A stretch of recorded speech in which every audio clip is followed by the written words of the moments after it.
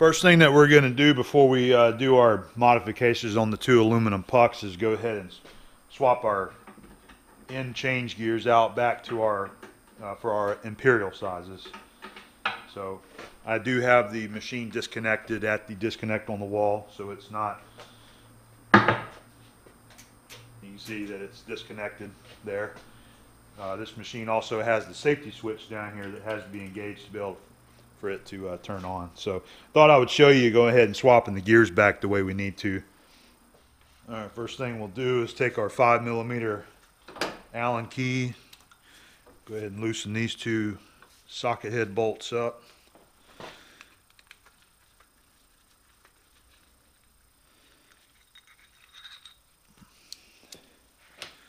All right, and then I want to align the keys so that they're both up. Get this one turned to where, all right, so that one's more up and that one's more up as well. One of them will fall out if you're not careful. Take that one off. All right, so we're gonna remove the 50 right there. And then also remove the 70 right there. All right, now what we're gonna do is put our, let me double check. So here's our 25 and the 25 is gonna be A, which this is the A position here. So we'll put the 25 back on right there. Go ahead and get our spacer and bolt back on there. Come on.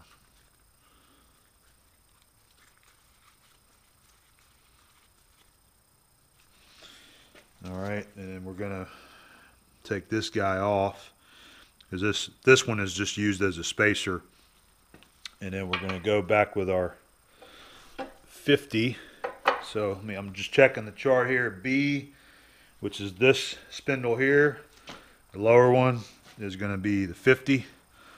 So 50 tooth, and we're gonna have to move our, we gotta move our quadrant out a little bit to get this on, because you see the, the uh, gear teeth won't mesh up. So this spindle right here positions back and forth, so I have to get in there and loosen that up. And that's actually needs to be a 26 millimeter wrench back there. It's right between an inch and an inch and a sixteenth. So I just use an adjustable wrench to get in there as close as I can on that hex because the uh, inch and a sixteenth flops around too much. So we're gonna loosen that one up. Okay. And push it back a little bit. So we can get our gear in there like that.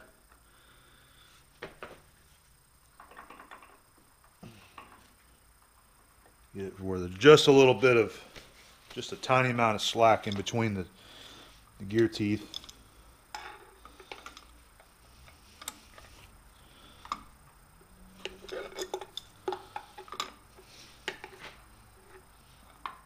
Okay, now we can tilt our quadrant up to that one there. Okay.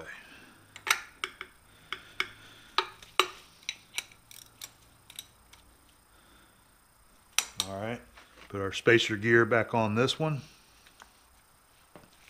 And then tighten it back up with the retainer bolt and washer.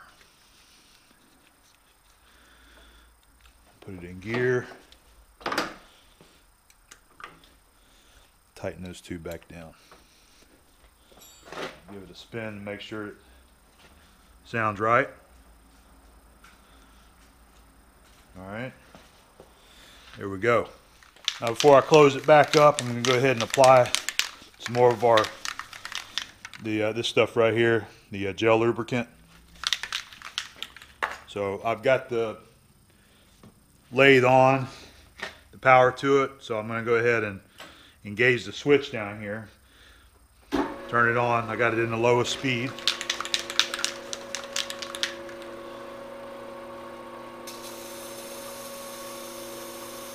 Go ahead and just get some fresh lubricant on the gear.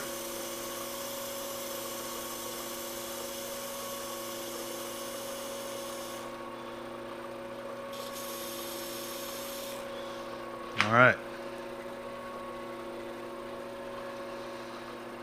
I think this stuff works really well. I haven't used it long enough to uh, really determine how well it's going to work, but I can see that the gears are still really clean from the last time that I did wash them off and reapplied this gel lubricant.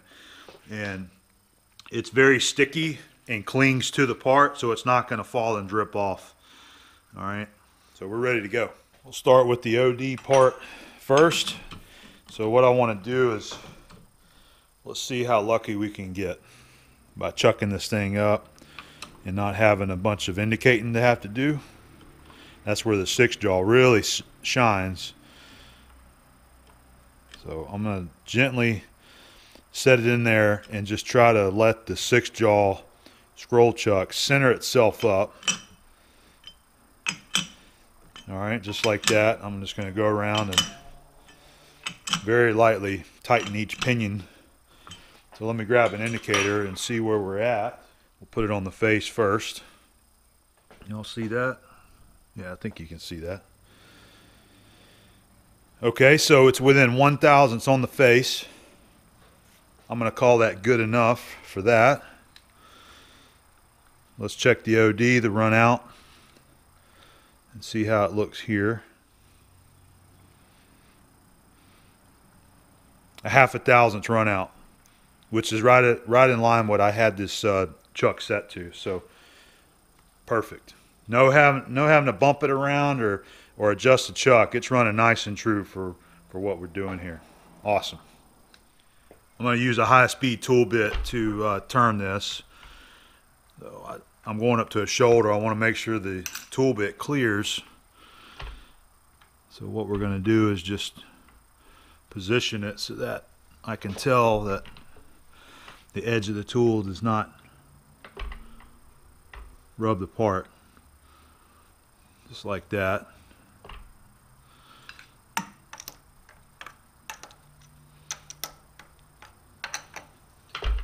There we go. So this journal we're going to turn needs to be 20.75 millimeters. That's converted over to inches 0.8169 go ahead and see where I'm where we're at right now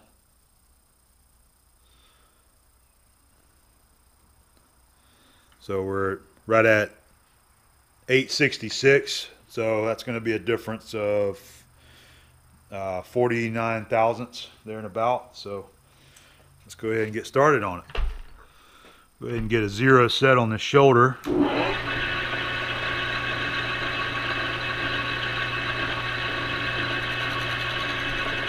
I can tell I'm just touching it. Get this indicator set. We'll just do light cuts to sneak up on our on our finish here.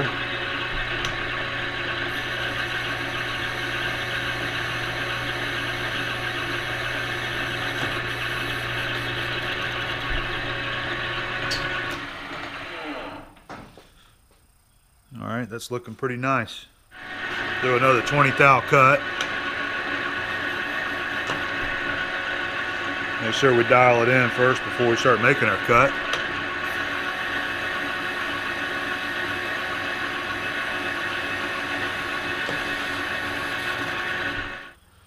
All right, our direct reading says 825. Really like the way this uh, digit mic's got the the numbers directly on the uh, the barrel there so you can see exactly where you're at. So we want 817, so that's going to be five, six, seven, eight thousandths. I'm going to sneak up on it. So we'll do a four thousandths cut. Dial in four right here.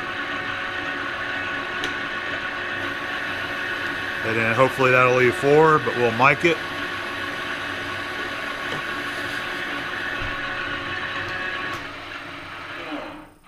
Just want to make sure there's no dust on it where I mic it.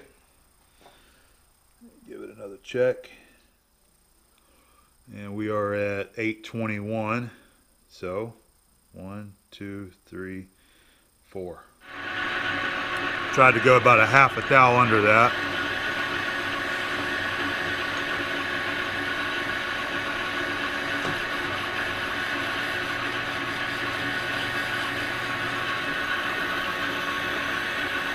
One thou clean up on the face. All right. And let's see if we finished want it there. All right. We wanted 817 and I'm one tenth over 817. So we're actually uh, two tenths. 0.8169 is your actual uh, on size dimension. We're two tenths over that, so I'd call that good. I'm not sure if that's a pilot or if a bearing is going to go on there, but uh, hopefully, if that's a bearing, that actually make a, a really nice fit. All right. We still got a chamfer on there, although you may not be able to see it, so we're going to leave that alone and uh, leave it right where it's at right now.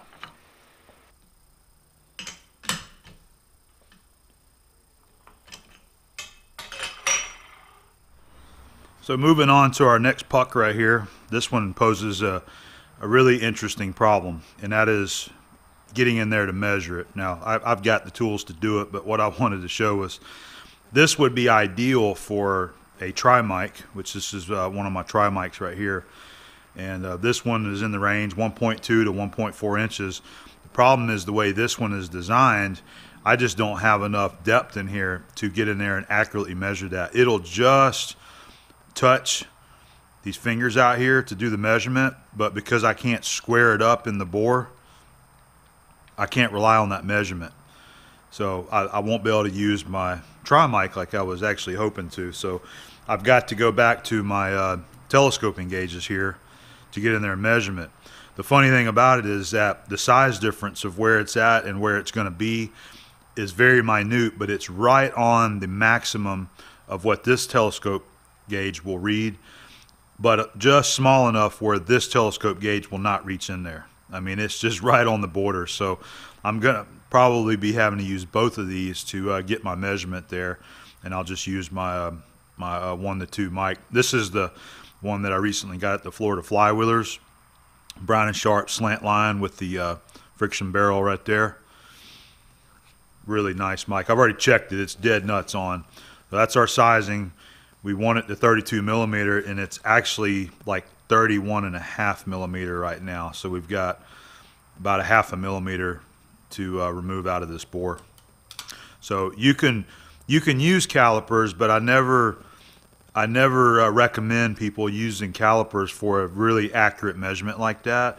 I mean you can get lucky and get right there on it. So it'll certainly work and you can get the job done.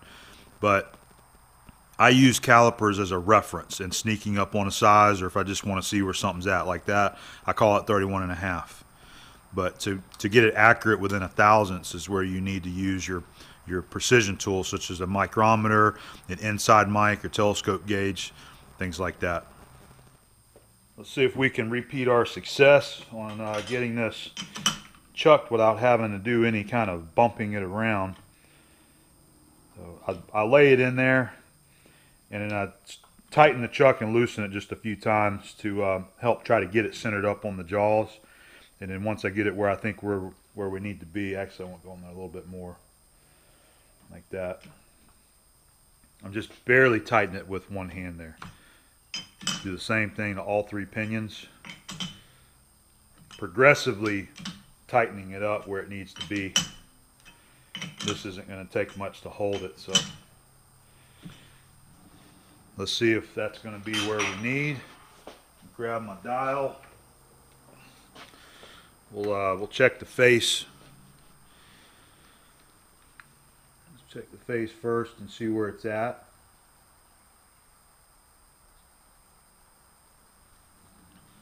Oh yeah, that's within one thousandths on the face, so we're going to call that one good. Let's check our bore.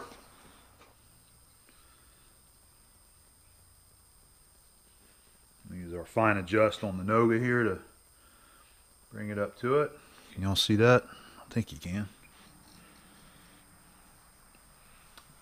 The inside of that's kind of chewed up a little bit. So it looks like we're within one half a thousandths on being true. Looking good.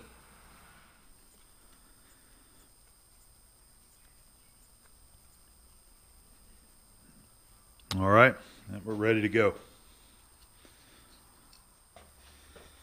We're going to use our Micro 100 Micro Quick tool holder here and a uh, solid carbide boring bar to get this done.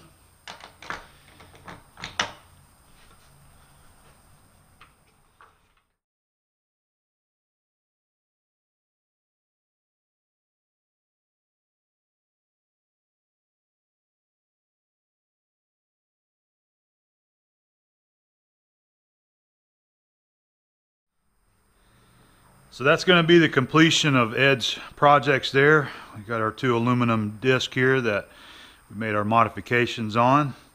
Got good sizing on using our using our measuring tools at hand.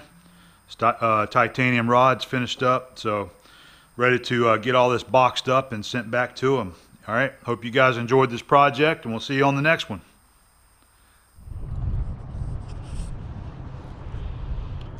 One of my little secret spots here on uh, Pensacola Bay. Come and hang out every now and then, eat lunch, just enjoy the uh, view of the bay here. Got me some chicken strips and got a great view of the bay here. Beautiful day, a little cool out. Nice and sunny though, the water looks pretty.